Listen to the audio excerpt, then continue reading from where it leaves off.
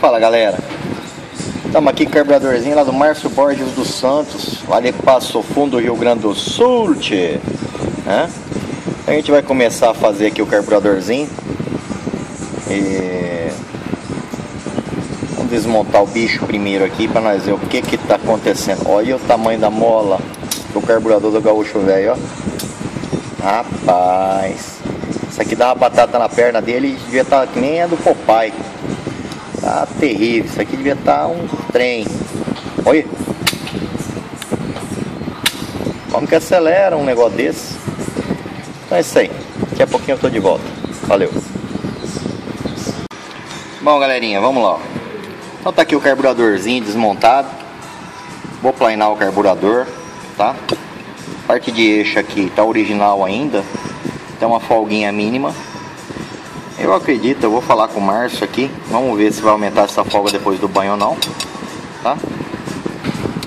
Vou ver certinho qual é o motor que ele está usando, se é 1300, 1500 ou 1600, que esse carburador aqui é um carburador que ele serve para os três, tá? Carburador com suplementares.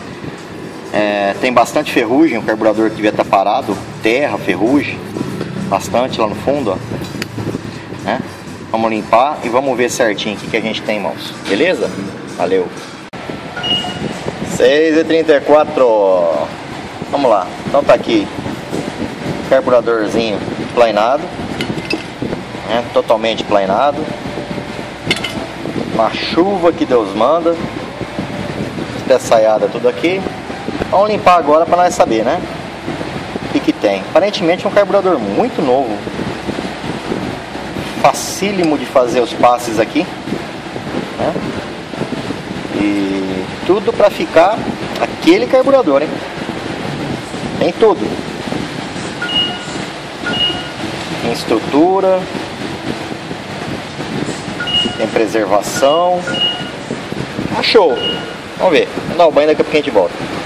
Bom, galera, então é isso aí. Vamos montar agora o carburadorzinho do nosso amigo Márcio Borges de Passo Fundo, Rio Grande do Sul. Tchê.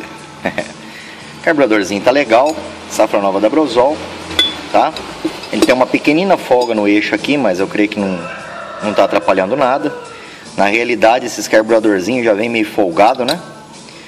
E aqui eu tô vendo necessidade aqui de uma manutenção, né? Vamos fazer manutenção, trocar diafragma novo, negocinho e tal. Deu uma limpadinha na boia, bonitinho. A boia tem a data de fabricação de 1999.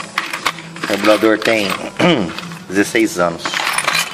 Até bonitão, ó. Na época, por exemplo, que a Brosol ainda fabricava uns carburador que ficava legal ainda. 99, 2000, por aí ainda era uma fabricação bem melhor. Mas já contava com uns eixinhos meio, meio esquisito.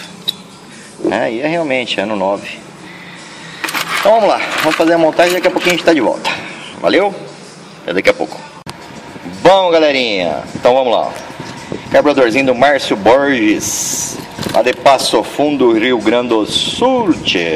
É. Então tá aí, ó, novinho o carburador de novo. A gente concluiu agora, tá? Porcas, arruelas novas, todo reparinho novo, tá?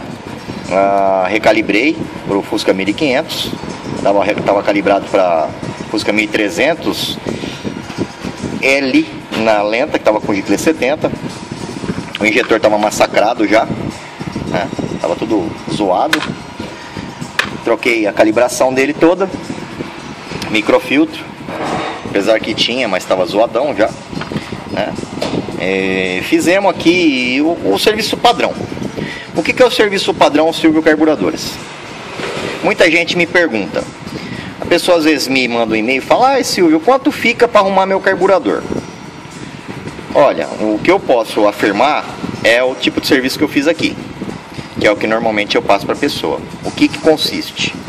Desmontar o carburador, planear a base, planear a tampa, planear a carcaça, planear a tampa de diafragma, planear a parte de diafragma, dar o banho químico, tá? Trocar a mola, colocar um diafragma novo, trocar o jogo de juntas, os retentores, fazer todo o ajuste padrão e trocar um microfiltro, tá? Esse é o serviço padrão básico, que é o que eu falo para as pessoas que me mandam por e-mail. O que passou do básico aqui? O que passou do básico aqui foi que a gente recalibrou o carburador que estava errado, tá? E trocou o injetor. Ou seja, são peças baratinhas, tá? Esse aqui, para vocês terem uma ideia, até o conjunto de parafusos dele estava perfeito. Não sei nem trocar parafuso nenhum, tá? É, e é um serviço que normalmente a pessoa fala assim, ah, mas quanto vai ficar? O serviço padrão meu fica aproximadamente um preço de um carburador novo, desse aqui, tá? Desse modelo, não de outros. Muitas vezes a pessoa fala assim, ah, Silvio, então eu vou comprar um carburador novo. Se o seu serviço para você fazer isso que você falou fica o preço de um carburador novo, a diferença está no quê?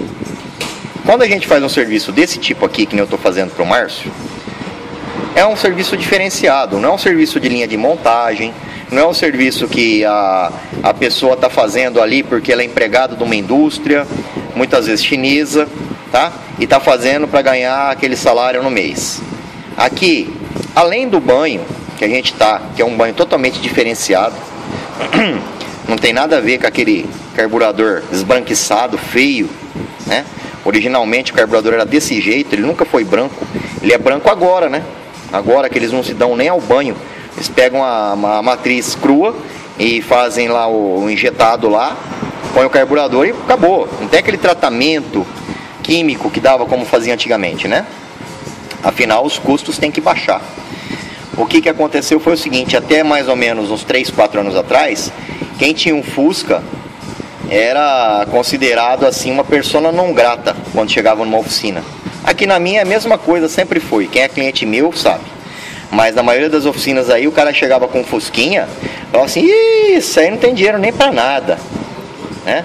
E tem muito dono de Fusca, e não é que não tem dinheiro para nada, tem muito dono de Fusca que prefere amarrar um arame mesmo, em vez de fazer um serviço decente.